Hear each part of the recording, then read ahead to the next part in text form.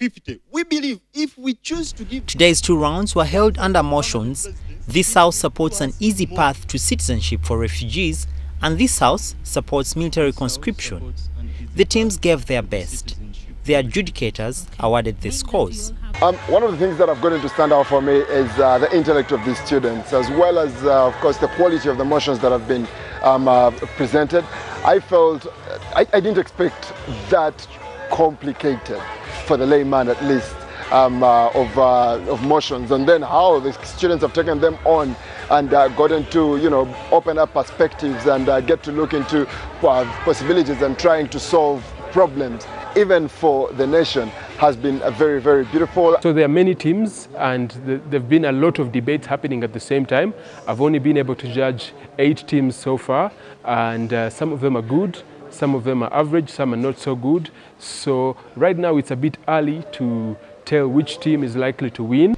Massa also says that some teams were challenged by the style of debate used, but there is still room for improvement. We do not get to know their details very well. We can even even send them back. And for those ones where we see that many of the teams uh, are not very familiar with the format that we're using in these debates, uh, which is British parliamentary uh, debate format. So some of them did not perform their uh, team and speaker roles very well, but overall we're seeing a general improvement in how the teams are doing uh, and the uptake of debate in the participating universities across East Africa because we have universities uh, from Uganda, Tanzania, Kenya, uh, and Rwanda. Especially with the way they're using and um, obtaining the British parliamentary system, um, which is a very unique way which allows, it's not just the similar one, but enables us to exploit the potential in all debates and actually get more content. First of all, I have got some good experience understanding how I can defend my, my case especially like uh, because I've been on the opposition,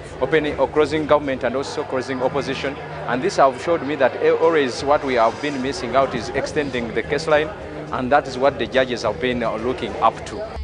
The championship brings together 48 teams from 32 universities across the East African region, and the championship focuses on East African integration.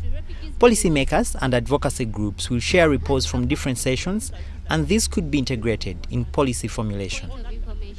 For Urban TV, I'm Matan Kwagala.